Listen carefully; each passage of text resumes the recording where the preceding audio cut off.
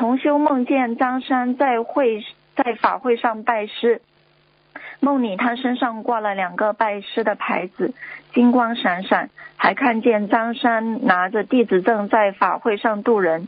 现实生活中，张三准备拜师，有两个名字，现在正准备做改名声文。请问这个梦是提示他要尽快做声文吗？应该是的，嗯。好的，感恩师傅慈悲开示。